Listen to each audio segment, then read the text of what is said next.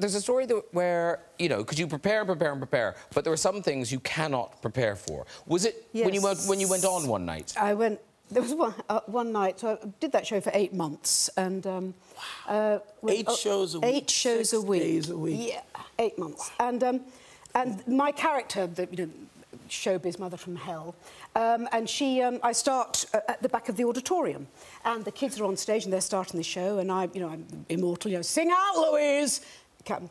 And I'd got dressed in the dressing room, dress, coat, hat, and also she has a little dog, a real dog, and I was standing at the back, and I, my coat was a bit uncomfortable, but I thought, oh, no, my... So I, I sing out, and as soon as I started speaking and walking down the aisle, I thought, there's something in my... There's something...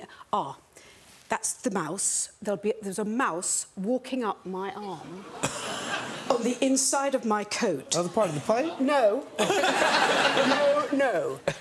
Uh, a mouse that obviously, as my coat was lying in the dressing room, it had just crawled into my, the arm of my coat. Oh, lovely, lovely, snuggly, lovely.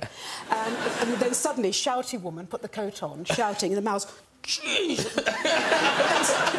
started walking up my arm, so I'm still going, oh, sing out, Louise, come on, okay. Talky, talky, talky, all the way up onto the stage, mousy up here, talky, talky, talky, talky. I start singing, you know, some people can get it, mousy, mousy. and I, then I doing a lot of, ah, la, la, la. Trying If to get it to jump out? If I do that, mouse will fly. mouse didn't do that. Mouse. clinging in there, and obviously, then at the end of the scene, I, I came off and said, "Did you? I had a mouse. I had a mouse." And, this- and someone said, "I saw that mouse. It came down at the back and just ran off." Just-